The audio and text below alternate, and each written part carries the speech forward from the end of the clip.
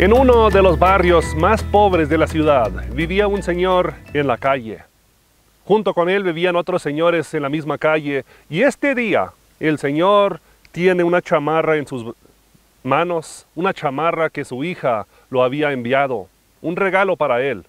Él observa la chamarra y los señores que lo rodean dicen, wow, qué bonita chamarra, te va a servir mucho aquí en el frío, aquí en la calle donde vives.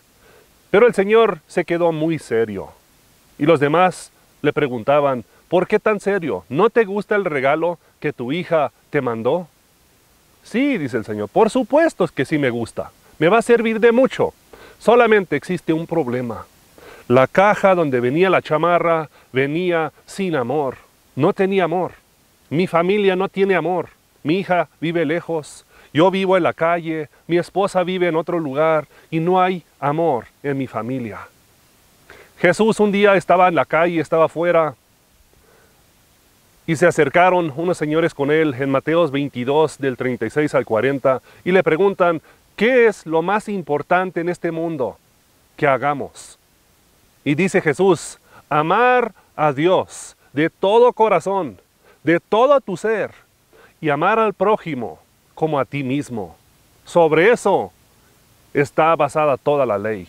Si hacemos esas dos cosas, amar a Dios de todo corazón y amar a los que nos rodean, al prójimo, como a nosotros mismos, cumplimos con toda la ley. En las fechas que estamos, deberíamos de enfocarnos bastante en ese versículo. Amar. ¿Cuántas personas no están en la calle? Están tal vez en su casa, pero sin amor.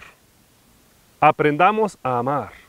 Aprendamos a compartir ese amor que Dios nos tuvo a nosotros con las personas que no tienen amor.